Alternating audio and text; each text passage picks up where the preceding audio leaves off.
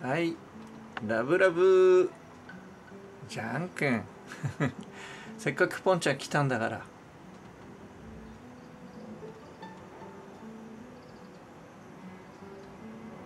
えー、大井さん。ジャン君外の景色はどうですか？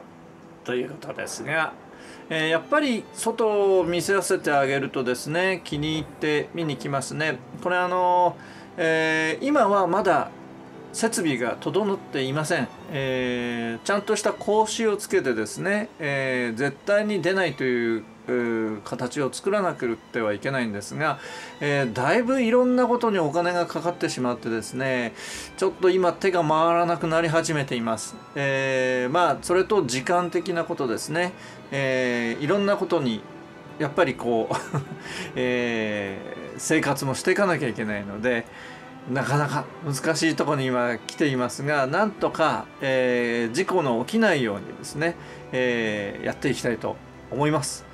ジャン君ポンちゃん。あんまりそのなんて言うんだっけこのあの網戸か。網戸触んないでね。君たちだったらバリッといけるんだよ本当はね、えー、気がつかないといいな。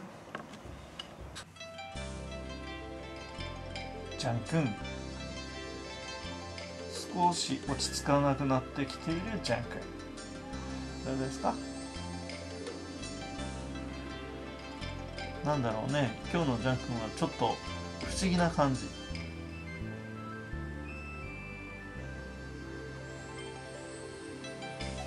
はいジャン君。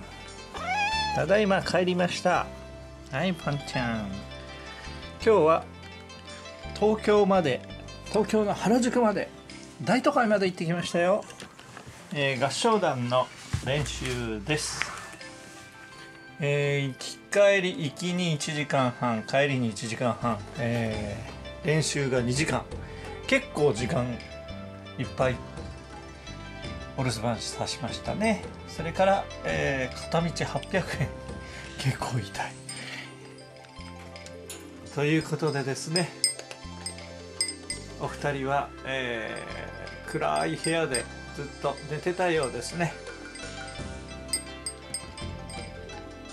今起きてきて、えー、喜びのご飯。葵ママさんもうすぐ来るからね